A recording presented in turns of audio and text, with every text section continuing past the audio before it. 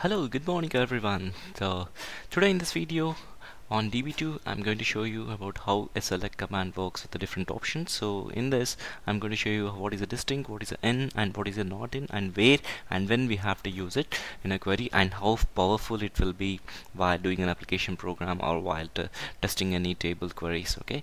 So let me connect to the mainframe system and I'm connected to the DB2 subsystem on the mainframe and I'm going to show you a distinct uh, query using select command okay? So now anyhow you know know about the table I have created like select query star from emp underscore table one which is a table I have created and let's see the data what it has.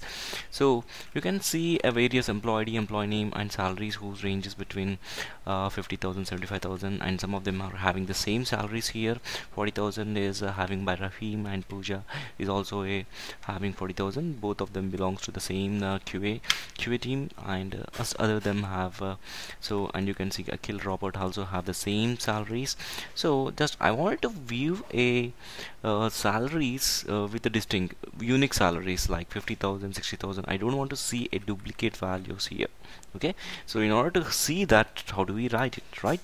So just go back to the query panel and just give select distinct and which one you want to see. Select the field you wanted to see. Select emp salary from emp table right then run it.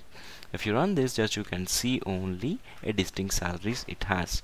So in order to give a more idea so what I will do is just we will select only a e salary and see how many records it will fetch. Okay? Uh, it is fetching around nine records right?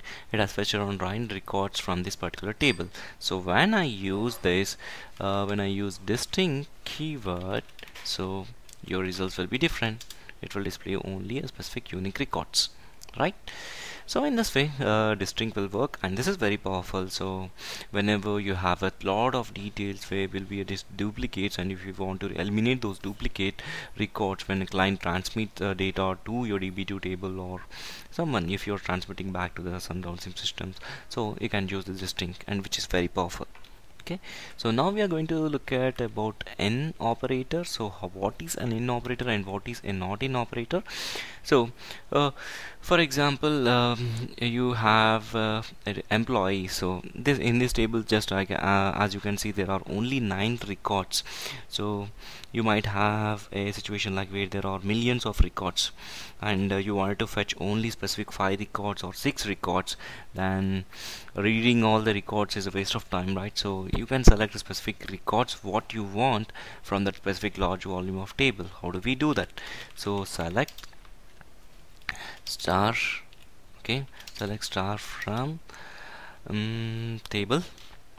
Table is emp one uh, where uh, I wanted to select a few specific employee I employees where I know their employee IDs and I wanted to see the specific information. For example the, uh, one employee has been joined four years back and uh, he has done various certifications and uh, he got uh, he got and he wanted to I wanted to see the history of those particular employees.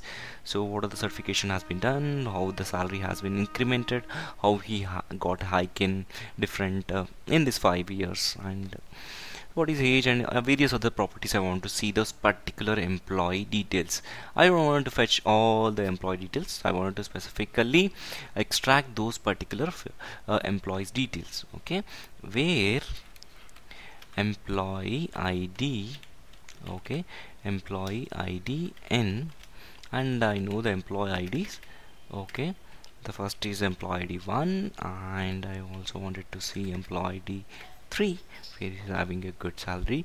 Just we want to see the information of it and then good. Run the query. If you run the query okay something hanged up. Okay. So something is a problem with the query here. So maybe it has been disconnected. I will come back